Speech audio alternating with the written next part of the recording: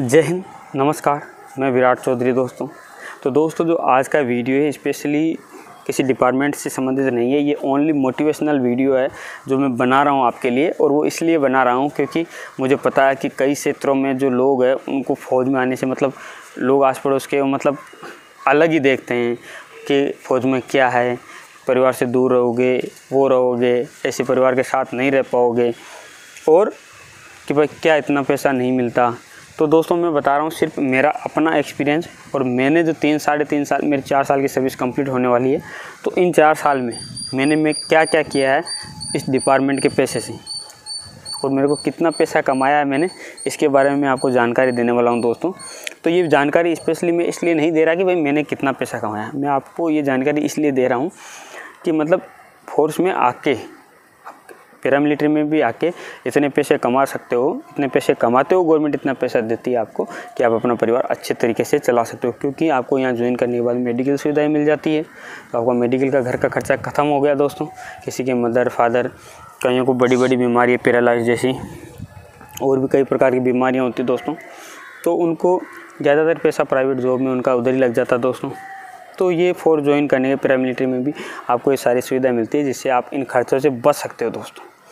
और आपको फिर इनकम एक अच्छी इनकम देती है, जिससे आप मतलब अपनी सर्विस में तो मैंने जो चार साल की अभी मेरी सर्विस ख़त्म होने वाली है कुछ दिनों में तो मैंने इन चार साल में क्या क्या किया दोस्तों, इसके बारे में मैं आपको बता रहा हूँ दोस्तों।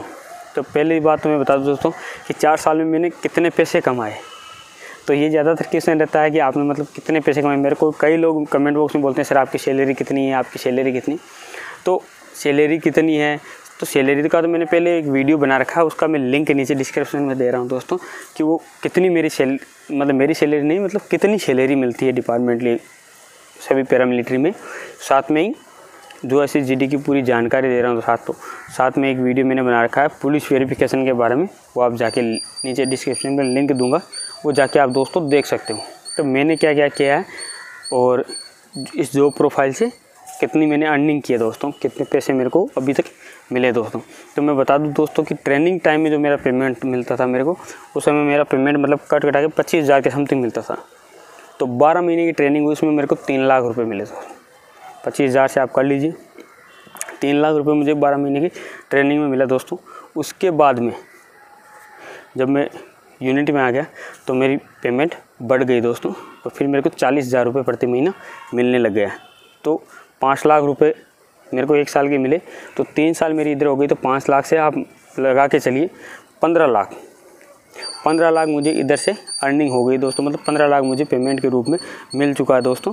उसके साथ में तीन लाख रुपये मेरे का जो ट्रेनिंग टाइम में जो मेरे को पैसा मिला वो तो पंद्रह और तीन अट्ठारह लाख रुपये मैंने अभी तक कमाए दोस्तों। अगर आप मानोगे चार साल में अगर अट्ठारह लाख रुपए मैंने कमाए हैं। चार साल में अगर अट्ठारह लाख रुपए कमाए हैं तो कम तो नहीं है दोस्तों। अठारह लाख रुपए कोई छोटी रकम नहीं होती है। अब इसके साथ में आपके खर्चे कम हो जाते हैं, वो बताता हूँ साथ में कौन कौन से। आप रेलवे से जाते हो, फोर से आपको टिकट मिलता है। आपका कोई खर्चा नहीं वापस ट्रेन से आते हो, थर्ड एसी। एसी की सुविधाएँ मिलती है आपको। थर्ड एसी से वापस आपका घर से लेके यहाँ तक का पूरा टिकट आपकी छुट्टी के दौरान आपको मिलेगा दोस्तों।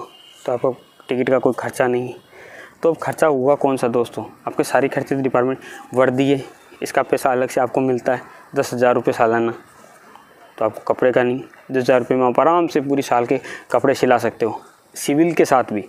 नोट वर्दी, सिविल भी। और फिर भी उसके साथ में भी आपको कंबल मिलती है, दरी मिलती है, चद्दर मिलते हैं, जूते मिलते हैं। तो आपको ख़रीदना क्या है?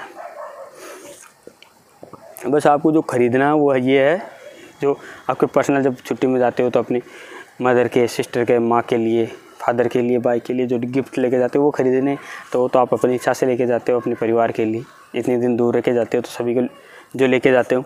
तो इसके अलावा जो ये अर्निंग इतने रुपए कमाए मैंने एक बढ़िया सा मकान बनाया है, जिसकी फ़ोटो पूरा ये जॉब ज़रूर करती है दोस्तों। मेरा तो ऐसे सपने है नहीं दोस्तों। मेरे को कार का शौक़ है नहीं, मेरे को बाइक का शौक़ है तो मैंने अच्छी सी बाइक ले रखी है। अच्छा जीवन चल रहा है।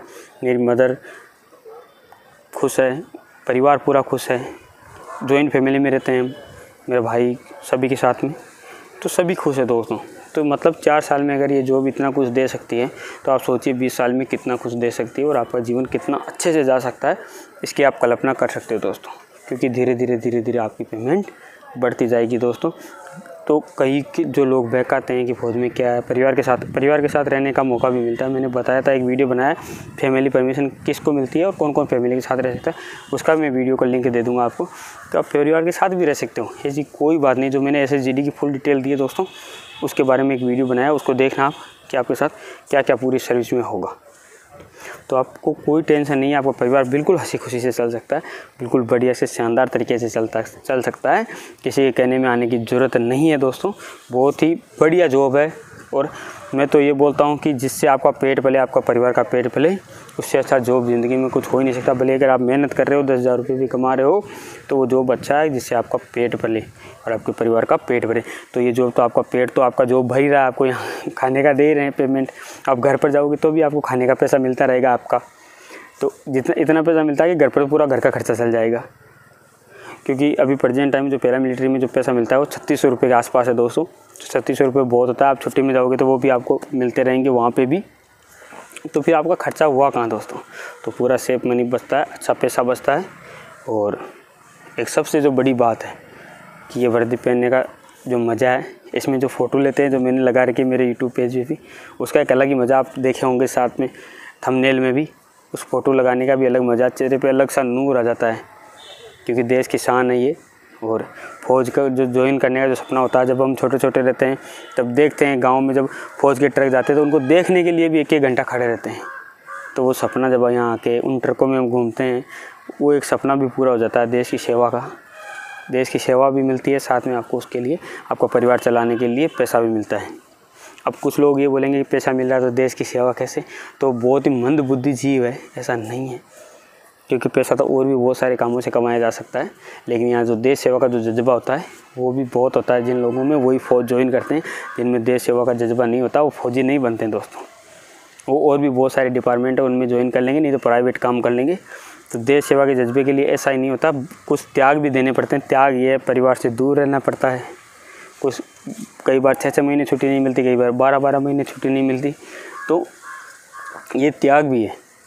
लेकिन इनमें आपको कभी तकलीफ़ नहीं होगी कि जिस काम से आपकी इज़्ज़त होती है, जिस काम से आपके देश की इज़्ज़त होती है, आप देश के लिए इतना अच्छा काम करते हो फौज में आके।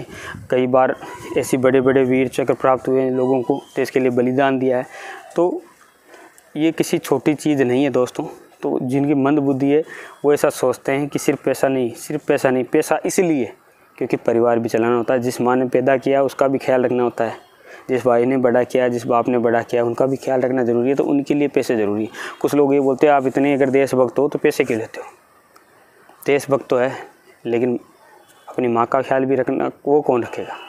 उसका भी रखना बुढ़ापे में, अपनी बहनों का भी ख्याल रखना, वो भी हमसे कुछ उम्मीद लगाए बैठी है। अपना परिवार भी चलाना, खुद का परिवार भी चलाना है, अपने भाई का जो आसपास में जो आपसे जुड़े लोग हैं, जैसे आपकी बहन हो गई तो उनका भी जो हक है, उनको भी अदा करना होता है तो इसलिए पैसे चाहिए। लेकिन देशभक्ति सर्वोपरि, जिस दिन देशभक्ति के लिए अगर काम आने की ज़रूरत होगी, उस दिन हम ये नहीं देखेंगे कि हमको पैसे मिल रहे हैं इस बात के कि नहीं। उस दिन ज़रूर पैसे मिलते हैं, सिर्फ़ मेहनत के। शहीद शहादत के नहीं मिलते दोस्त। तो उस समय पीछे नहीं हटते हैं फौजी, और देशभक्त मतलब बनने का आपको अगर मौका मिल रहा है वर्दी पहनने का, इससे बड़ा सुकून की कोई बात नहीं हो सकती। आपका जॉब ऐसा है कि आपको देशभक्ति का भी मौका देता है और परिवार भक्ति का भी मौका देता है। तो इससे अच्छी और कोई बात नहीं हो सकती दोस्तों, मेरे ख्याल से तो। बाकी आप ज्वाइन करोगे, आपको धीरे धीरे पता चल जाएगा दोस्तों। जय हिंद, जय भारत।